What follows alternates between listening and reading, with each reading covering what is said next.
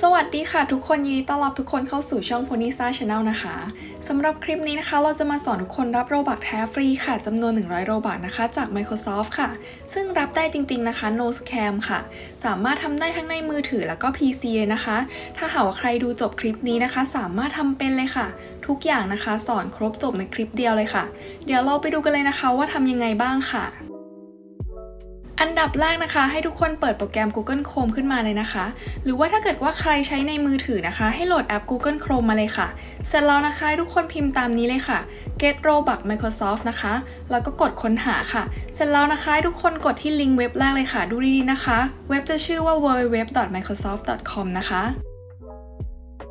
พอคลิกเข้ามาแล้วนะคะ ทุกคนสามารถเลื่อนดูได้เลยนะคะ ก็จะมีข้อมูลเกี่ยวกับโรบอกโชว์ขึ้นมานะคะ เกี่ยวกับการรับโรบักฟรีค่ะ ซึ่งจะเป็นการ co กันของ 2 บริษัทนะคะ ก็คือของ Microsoft แล้วก็ Roblox ค่ะ ให้ทุกคนกดที่ตรงนี้ได้เลยนะคะ Join Now ค่ะ พอกดเสร็จแล้วนะคะ ทางเว็บ Microsoft ก็จะให้เรา log in ค่ะ ให้เรากรอกข้อมูลอีเมลกับรหัสผ่านได้เลยนะคะ ถ้าเกิดว่าใครมีอีเมลอยู่แล้วเนี่ย ก็สามารถ log in ได้เลยค่ะ แต่ถ้าเกิดว่าใครยังไม่มีอีเมลนะคะ ก็ต้องสมัครก่อนค่ะ แล้วก็ค่อยมา log in ตรงนี้นะคะ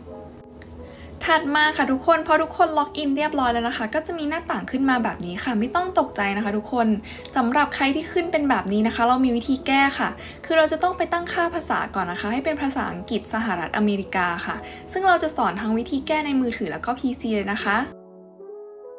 เริ่มต้นด้วยบน PC ก่อนนะคะ ให้ทุกคนสังเกตนะคะ มุมบนขวาค่ะจะมีจุดไข่ปลา 3 จุดนะคะ ให้ทุกคนกดตรงนี้ได้เลยค่ะ เสร็จแล้วนะคะ ให้กดคำว่าตั้งค่าค่ะ ต่อมานะคะทุกคนมองไปที่ด้านซ้ายมือค่ะ จะมีคำว่าภาษาอยู่นะคะ ให้ทุกคนกดได้เลยค่ะ เสร็จแล้วค่ะ เราก็ต้องมาเพิ่มภาษากันนะคะ ให้ทุกคนกดคำว่าเพิ่มภาษานะคะแล้วก็พิมพ์หาคำว่าภาษาอังกฤษสหรัฐอเมริกาค่ะ แล้วก็กดติ๊กถูกได้เลยนะคะ แล้วก็กดเพิ่มค่ะพอมาถึงตรงนี้แล้วนะคะ ทุกคนอย่าเพิ่งกดปิดหน้าต่างนะคะให้ทุกคนกดคลิกที่จุดไข่ปลาตรงนี้นะคะ แล้วก็กดคำว่าย้ายไปด้านบนค่ะ โอเคค่ะ ตรงนี้นะคะก็เสร็จเป็นที่เรียบร้อยแล้วค่ะสำหรับวิธีแก้ภาษาบน PC นะคะ ทุกคนสามารถกลับไปที่หน้าเดิมแล้วก็กดรีเฟซได้เลยค่ะ ถัดมานะคะทุกคนถ้าเกิดว่าใครใช้ iPhone หรือว่า iPad นะคะ เดี๋ยวเราไปดูวิธีแก้กันเลยนะคะ วิธีการนะคะก็ให้ทุกคนกดเปิดแอปตั้งค่านะคะ เสร็จแล้วก็กดที่คำว่าทั่วไปค่ะ แล้วก็กดคำว่าภาษาและภูมิภาคนะคะ ถัดมาค่ะตรงภาษาของ iPhone นะคะ เราก็จะต้องเปลี่ยนภาษานะคะ ให้ทุกคนกดเลือก English ค่ะ แบบไม่มีวงเล็บต่อท้ายนะคะ แล้วก็กดยืนยันด้านล่างค่ะ ให้เปลี่ยนเป็นภาษาอังกฤษนะคะเสร็จแล้วก็ให้ทุกคนรอสักครู่นะคะ iPhone และ iPad ของเราก็จะถูกเปลี่ยนภาษาเป็นที่เรียบร้อยค่ะ หลังจากทำเสร็จนะคะ ทุกคนกลับไปที่ Google Chrome หน้าเดิมได้เลยค่ะ แล้วก็กด refresh เว็บไซต์นะคะ ต่อมานะคะสำหรับคนที่ใช้มือถือ Android ค่ะ ให้ทุกคนกดไปที่แอปตั้งค่าบนมือถือนะคะ แล้วก็เลื่อนลงมาค่ะ ที่ด้านล่างนะคะ ให้กดที่คำว่าภาษาและการป้อนข้อมูลนะคะ แล้วก็กดที่คำว่าภาษาอีกรอบค่ะให้เปลี่ยนจากภาษาไทยเป็นอังกฤษนะคะ จะเป็น English United States นะคะ พอทำเสร็จนะคะ ก็สามารถกลับไปที่แอป Google Chrome ได้เลยค่ะ แล้วก็ refresh เว็บไซต์ได้เลยนะคะ สำหรับวิธีแก้ภาษานะคะ ก็มีเพียงเท่านี้ค่ะ ถัดมานะคะ เดี๋ยวเราจะเริ่มอธิบายการรับ Robux ฟรีกันเลยค่ะ ในหน้านี้นะคะ ทุกคนให้ทุกคนเลื่อนมาที่ด้านล่างเลยค่ะ จะมีคำว่า Roblox Digital Code 100 Robux นะคะ ให้ทุกคนกดคลิกตรงนี้ได้เลยค่ะ หลังจากที่ทุกคนกดคลิกแล้วนะคะ มันก็จะโผล่มาที่หน้านี้ค่ะ ในหน้านี้นะคะก็จะมีรายละเอียดเกี่ยวกับเงื่อนไขการรับ Robux ฟรีค่ะ ซึ่งการที่เราจะรับ Robux ฟรีจำนวน 100 Robux ได้นะคะ เราจะต้องสะสม point ค่ะ ซึ่งจำนวน point ที่เราจะต้องสะสมนะคะ เราจะต้องเก็บให้ครบจำนวน 1,500 point ค่ะ ถึงจะสามารถแลกรับ Roblox Digital Code 100 Robux ได้นะคะในส่วนของ select an option ในตอนนี้นะคะ ก็จะมีให้เราเลือกได้แค่เพียงอย่างเดียวค่ะ คือ 100 Robux นะคะ ตรงนี้นะคะทุกคนให้ทุกคนกดคลิกที่คำว่า set as goal ได้เลยค่ะ ซึ่งจะเป็นการตั้งเป้าหมายของการสะสม point นะคะถัดมาที่ด้านล่างนะคะ ทุกคนตรงนี้ค่ะจะมีรายละเอียดเกี่ยวกับเงื่อนไขข้อกำหนดการใช้ Roblox Digital Code 100 Robux อันนี้นะคะ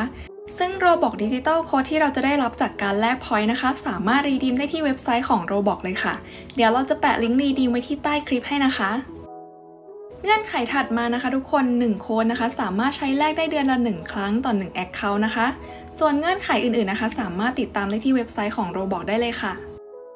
พออธิบายมาถึงตรงนี้แล้วนะคะ ทุกคนก็อาจจะสงสัยว่าแล้วเราจะเก็บพอยต์ยังไงจะดูพอยต์จากไหนนะคะ ก็ให้ทุกคนมาดูตรงนี้เลยค่ะ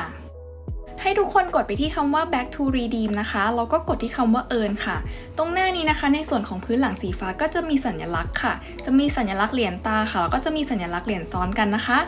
ซึ่งในส่วนของสัญลักษณ์เหรียญตานะคะ จะแสดงจำนวนพอยที่เราเก็บสะสมมาทั้งหมดค่ะ โดยจะไม่มีวันหมดอายุนะคะ ส่วนสัญลักษณ์เหรียญซ้อนกันนะคะ จะเป็นจำนวนพอยที่เราสามารถรับได้ในแต่ละวันนะคะ ซึ่งจะมีจำกัดจำนวนอยู่ที่ 63 point ต่อวันค่ะสำหรับการรับ point นะคะ จะมีด้วยกันทั้งหมด 3 วิธีค่ะ วิธีแรกนะคะคือการกดรับ point จาก Activity ค่ะ โดยตัวเว็บไซต์นะคะจะมี Activity Show ขึ้นมาให้เรากดค่ะ ก่อนกดนะคะ ทุกคนก็จะสังเกตเห็นได้ว่ามีตัวเลขและสัญลักษณ์บวกที่มุมขวาของแต่ละอันนะคะ โดยในการกดคลิกเข้าไปนะคะ เราจะได้รับ point ตามจำนวนตัวเลขที่โชว์เลยค่ะ ซึ่งจากที่ทุกคนเห็นนะคะ จะมีทั้งหมด 6 Activity ค่ะ ก็สำหรับวิธีแรกนี้นะคะ เราก็จะสามารถรับพอยต์จำนวน 30พอยต์ได้เลยค่ะ โดยวิธีนี้นะคะสามารถทำได้บนอุปกรณ์ทุกประเภทเลยค่ะ ไม่ว่าจะเป็นโทรศัพท์นะคะ iPad ค่ะ หรือว่า PC แล้วก็ Mac นะคะ ถัดมานะคะทุกคนสำหรับวิธีที่ 2 ค่ะ ให้ทุกคนกดไปที่ point breakdown ค่ะ ตรงนี้นะคะ มันก็จะขึ้นหน้าต่างแบบนี้มาให้เลยค่ะ ให้ทุกคนกดไปที่ PC search นะคะ เสร็จแล้วมันก็จะเปิดไปอีกหน้าต่างหนึ่งให้เราค่ะ ในหน้าต่างนี้นะคะ ทุกคนพิมพ์ค้นหาคำว่าอะไรก็ได้นะคะแล้วแต่ต้องการเลยค่ะ แล้วก็กดค้นหานะคะ ซึ่งเราจะต้องทำทั้งหมด 10 ครั้งค่ะ โดยในแต่ละครั้งเนี่ยจะต้องเป็นคำค้นหาที่แตกต่างกันนะคะ สมมุติว่าครั้งแรกเรากดคำว่าแมว ครั้งที่ 2 เราจะหาคำว่าแมวแบบเดิมไม่ได้นะคะ เราจะต้องเปลี่ยนคำนะคะ จะพิมพ์คำว่าแมวดำแมวขาวก็ได้ค่ะ หรือว่าจะเปลี่ยนเป็นคำอื่นๆ ก็ได้นะคะ ซึ่งในแต่ละครั้งที่เรากดคำค้นหานะคะ เราก็จะได้รับพอยต์ครั้งละ3พอยต์ค่ะ ซึ่งถ้าเกิดว่าเราทำครบ 10 ครั้งนะคะ เราก็จะได้รับ 30พอยต์ไปเลยค่ะ โดยก็จะเป็นจำนวนสูงสุดที่สามารถรับได้ต่อวันนะคะ สำหรับวิธีที่ 2 นี้นะคะ ต้องบอกก่อนว่าสามารถทำได้เฉพาะบน PC หรือว่า Mac เท่านั้นนะคะ จะไม่สามารถทำบนมือถือระบบ Android iOS หรือว่า iPad ได้นะคะ